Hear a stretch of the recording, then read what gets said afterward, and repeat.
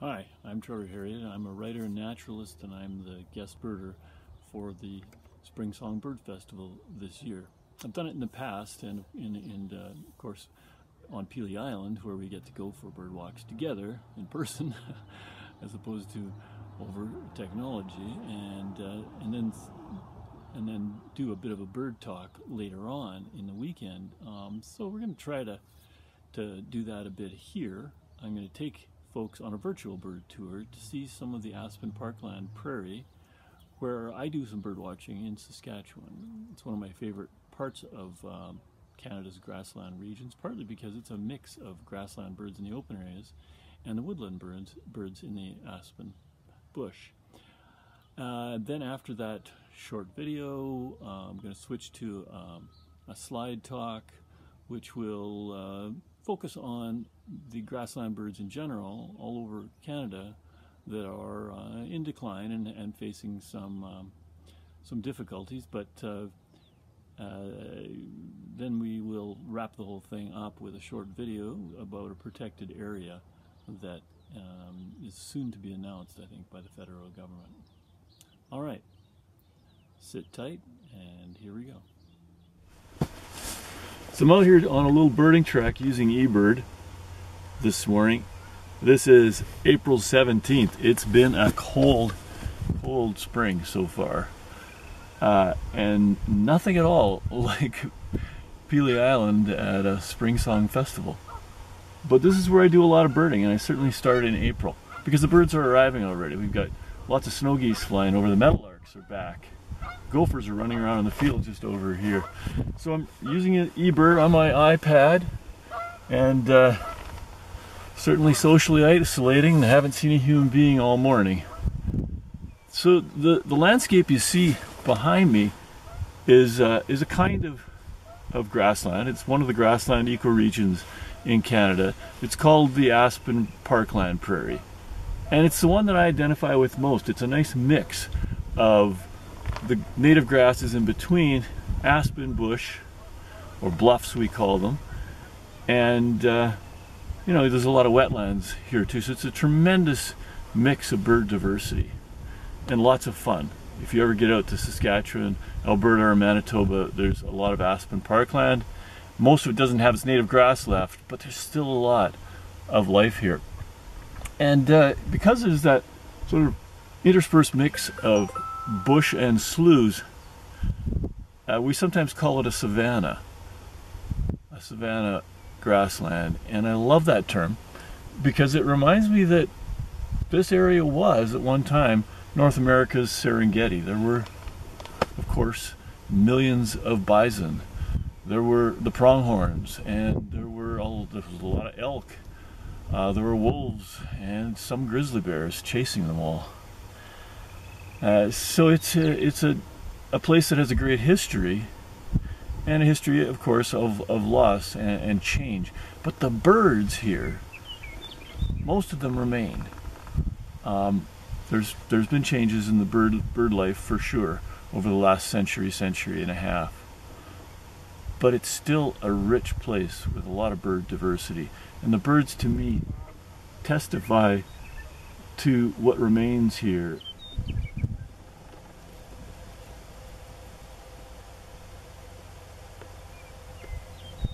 bush.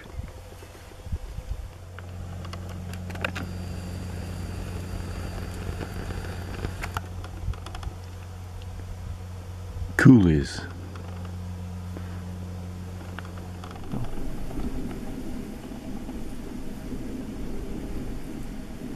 And sloughs.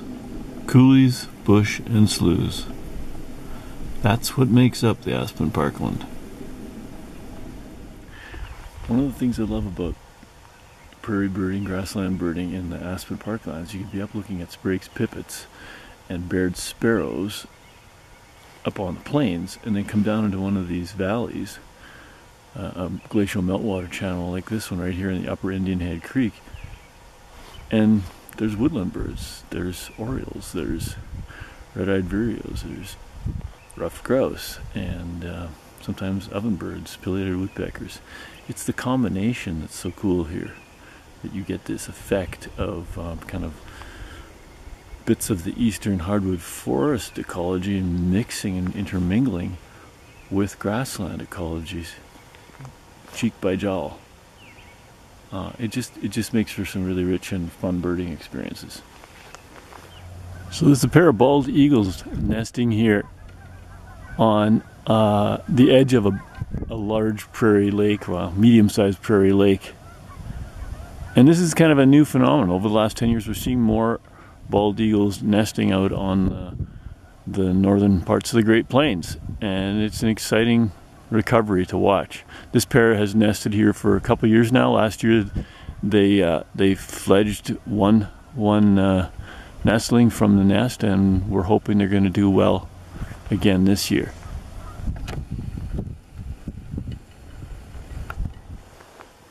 So when you walk inside one of these aspen bluffs on a spring morning,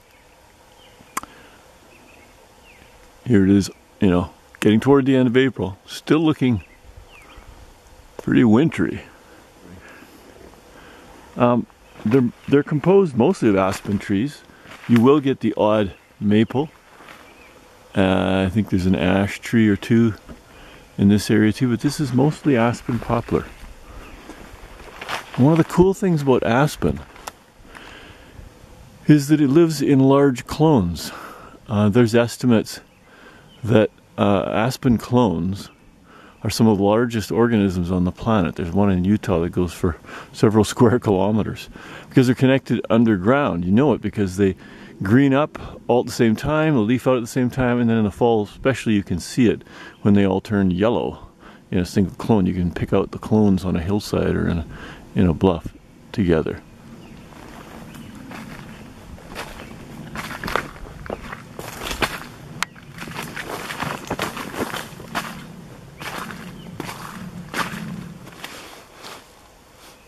What kind of birds are in these aspen bluffs?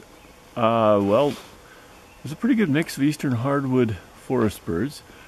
There's uh, a few warblers, certainly redstarts, ovenbirds. In wet spots, you'll sometimes find uh, a northern water thrush if it's in a valley. And there's a creek going by. There's yellow warblers. And again, in the deeper coulees and ravines, you get towhees, both eastern and the spotted towhee and alder and least flycatcher, especially least flycatcher. I've found uh, easternwood pewee here.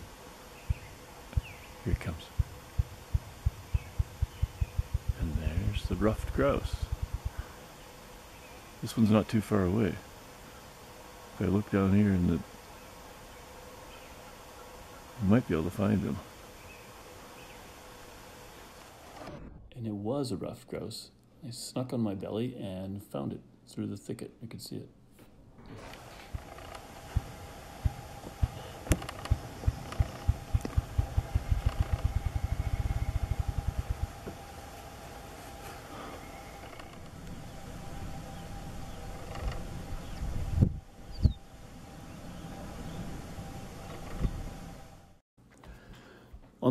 Found one of my favorite prairie birds of the spring, sandhill crane. They were making their sounds right by the roadside and landing.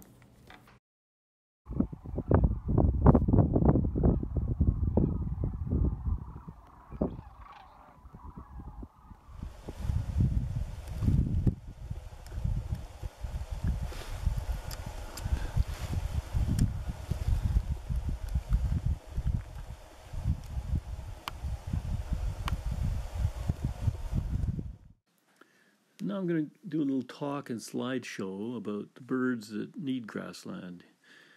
Whether it's a hay meadow, an alvar, tallgrass prairie in Manitoba, Ontario, or the big expanses of prairie in Alberta and Saskatchewan.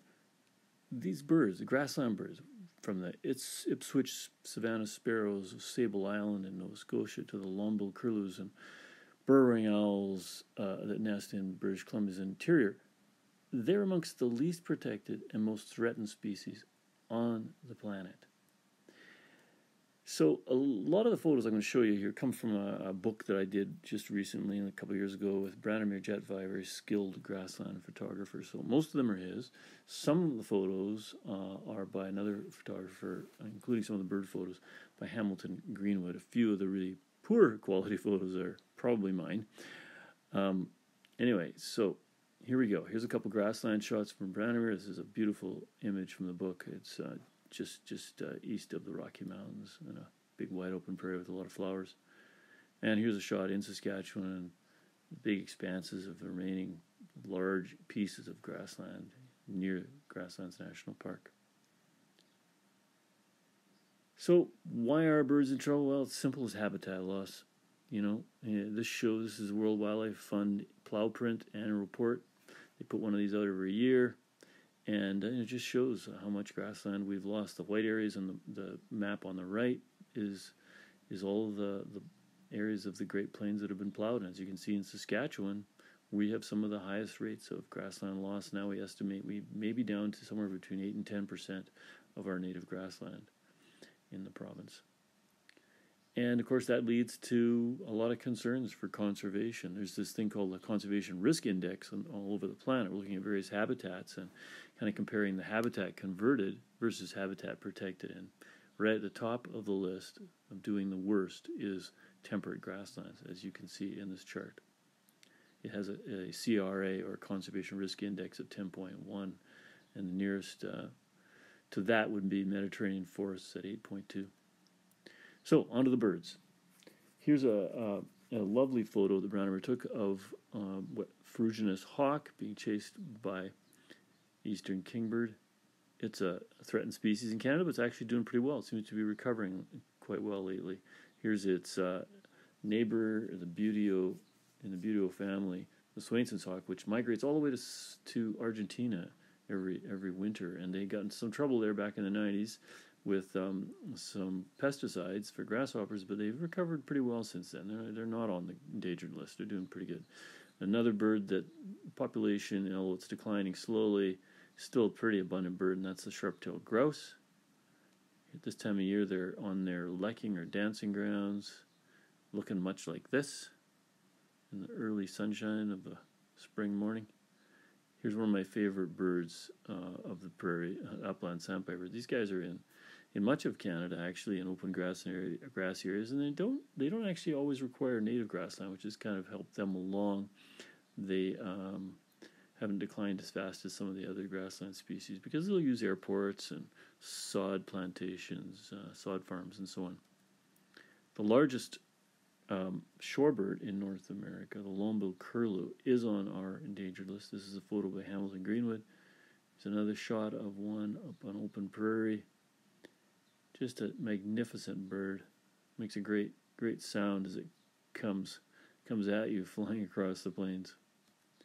Burrowing owl uh, is in some trouble in Canada. The northern edge of its range has really lost its numbers. We had thousands in Canada when I started birding back in the 80s, and now we're down to a couple of hundred. Sprague's pipit is one of my favorite grassland songbirds. They have this this great habit of flying up into the sky to sing. You know, they drop their song from two or three hundred meters up. You can barely see them, just a dot up in the sky. It looks like this through your binoculars if you're lucky, and that'll be about the best view you're going to get. But the song just kind of falls upon you as though the sun or the sky itself took voice. Here's a Say's phoebe one of the aerial insectivores you'll find out in the in the western plains, kind of a cousin of the eastern phoebe. And the loggerhead shrike, it is on our endangered species list. This is uh, uh, a young one, another young one here on a fence line, and one being fed by its parent. Of the um, the race of the loggerhead shrike that breeds in, in southern Ontario is even doing worse. It seems its numbers are, are, are declining pretty fast sage grouse. We had a couple thousand um, a few years ago, 20, 30 years ago, I guess, and now we're down to maybe 100 in Canada. Uh, the Canadian Wildlife Service is really working hard on this one and put, has put quite a bit of funding toward it and some, some programming work with working with ranchers who who manage land that have sage grouse in, in Canada, and will, remains to be seen whether we are going to get any results from that. But um, with reintroduction programs happening in Alberta, um, maybe we will see in the next 10 years some improvement, but uh, it's definitely a bird in trouble. The lark bunting, often called the white winged blackbird by ranchers, a very erratic species. It kind of shows up depending on the, the weather and the year in big numbers or smaller numbers it's uh, it's kind of a cool bird with a really neat flight song, and the females are kind of pretty. They have a really nice plumage. Here's a Baird sparrow, uh, a great singer out on the open grassland. You hear them all the time when you're out on the big pastures of uh, the northern plains. Its cousin, the grasshopper sparrow, which is a wider range. The Baird sparrow is really just in a restricted little circle of um, eastern Montana, western North Dakota, parts of Alberta, Saskatchewan, and Manitoba. But the grasshopper sparrow is, of course, in places like Ontario as well. There's another shot of grasshopper sparrow.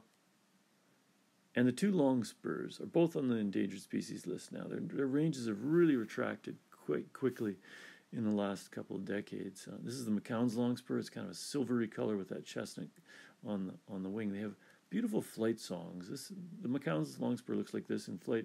It'll be up tottering on the wind and, and singing maybe only 20 or 30 feet up in a, what's called a butterfly flight display. It's um, relative the chestnut color longspur also has a flight song, but it's a little lower to the ground, more of a rollicking flight, and it has this beautiful chestnut on the nape and a great flashy tail. All the longspurs have this kind of have these kind of tails in different patterns and the Western Meadowlark. And we know it's a Western Meadowlark because it's sitting on a cowboy boot. This is Hamilton Greenwood photo. I wanted to include a photo of the whooping crane. This is by a friend, Annie McLeod. Um, it, I, I think of it as a grassland bird or a prairie bird, but most of us, I think, think of the whooping crane as a boreal forest bird because that's where they're breeding right now. They are up at Wood Buffalo, but that's just where they were discovered after they disappeared and were chased away from the plains by settlers 100, 120 years ago. But they were here. Uh, all the early records from traveling naturalists through the 19th century found whooping cranes. Now, never in big numbers because it's a large bird. They were pretty uh, dispersed over the plains, but at big wetlands, they were there out on the prairie. So you know, part of why we're concerned about habitat for grasslands, uh, grassland birds in Canada is that we have, as a country, kind of given up on on managing their their habitat for the public good. At one time, we had a terrific federal pasture system that a really good did a good job at managing land for for both grazing and soil conservation and water conservation, but also for biodiversity. And they had programs looking after endangered species. That was ended, unfortunately, in 2012 by the Harper government. And uh, although the land has not been sold yet, it is being managed privately, and it remains to be seen as to how grassland birds and those those you know acres are going to survive now. It's uh, 2.2 million acres of of lands that formerly were managed by the federal government are now being managed um, more or less privately by the producers. Um, we have to hope that they will do the right thing and um, manage grazing in ways that will be good for biodiversity as well as for putting meat on the hoof. One of the positive trends I've seen happening in grassland conservation is that we've seen the rise of some really bright stars in the grassland bird world and in bird conservation in in the prairie. This is Nicola Koper from the University of Manitoba in Winnipeg does some great great work out on the plains.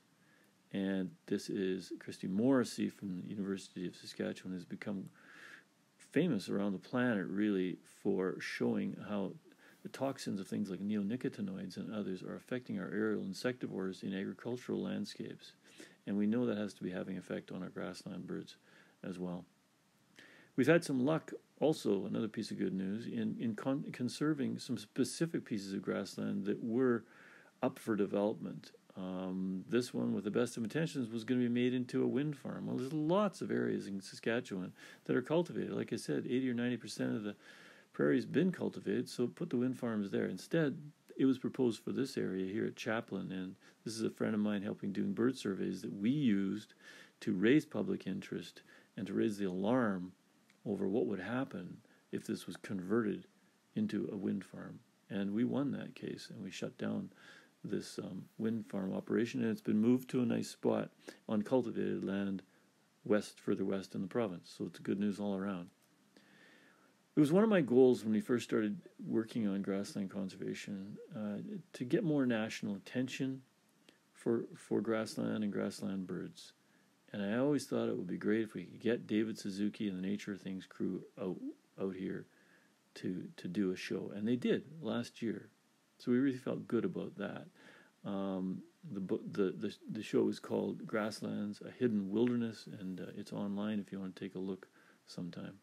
Here's a shot of us out together, looking at uh, or, or the, with with the film crew, as my friend Ed and I were out doing our bird survey work. That was part of how I showed up in the episode, as uh, kind of a person talking about the birds and the bird atlas work we were doing there on these big grasslands. Cattle producers have been, over the years, great conservationists by and large. You know, most of them, especially in the southwest of Saskatchewan and southeastern Alberta, uh, really understand conservation and the the role that cattle production and grazing can play in conservation as a kind of a ecological substitute for the bison that are missing. Uh, so they've been some very good allies over over the years, and you know they really do care about the birds. This is a a fellow who was a PFRA manager who rescued a short-eared owl one day. Uh, was caught in the fence. All right, and uh, you know, we we were so happy when Graeme Gibson and Margaret Atwood came out and spent some time with us and helped us raise awareness about grassland and grassland conservation. They traveled with us in the southern parts of the province down to Grasslands National Park, and we just had a great time together, speaking to ranchers and uh, just in general, you know, helping us get some media attention and move the needle a little bit of public opinion on grassland. Here's a final shot of the two of them overlooking the Frenchman River Valley. And finally, I want to show you um, a little video uh, at the end that, that is a really good piece of news. I think pretty soon we are think we're going to hear the announcement from the Canadian Wildlife Service and Environment and Climate Change Canada of a large 200,000 acre uh, pasture or grassland that's going to be conserved and managed, kind of like a national wildlife area or maybe a national grassland. I'm not sure what they're going to call it.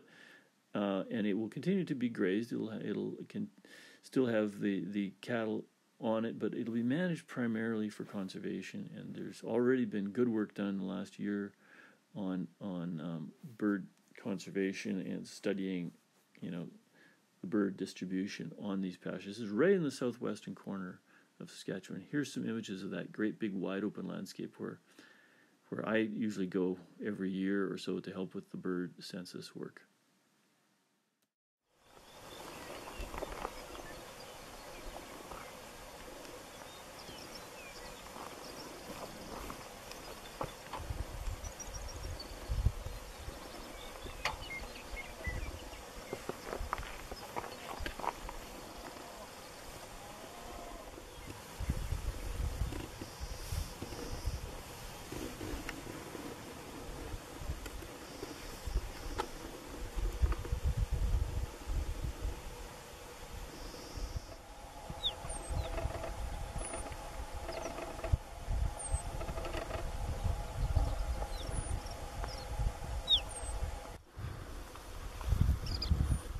It's a chestnut colored longspur nest.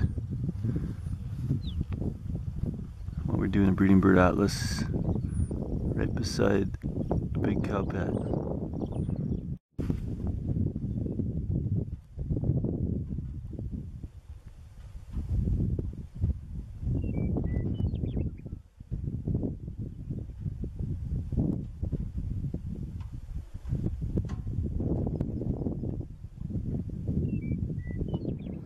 Well, it's time to wrap things up. Thanks for being part of uh, Spring Song this, this year.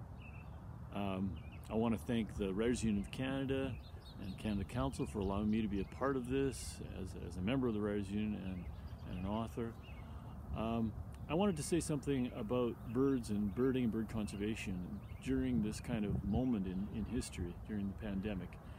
Uh, first of all, the birds, as we all know, help us take heart at difficult times. So it's time to get out birding, but it's also time to to join the conservation groups like the Pelee Island Bird Observatory, to participate in other local conservation initiatives that help birds out. I think that on its own uh, is good for our hearts in such times. So, thank you for being supporters of PIBO and other environmental groups, and I encourage you to continue doing that. There's a lot that can be done online. Certainly, eBird works really well, and uh, and there's a lot of online work that can be done where you don't have to to meet in large groups and go to conferences. So, thanks again. Take heart. I, I hope to see you all again soon, sometime on Pelee Island.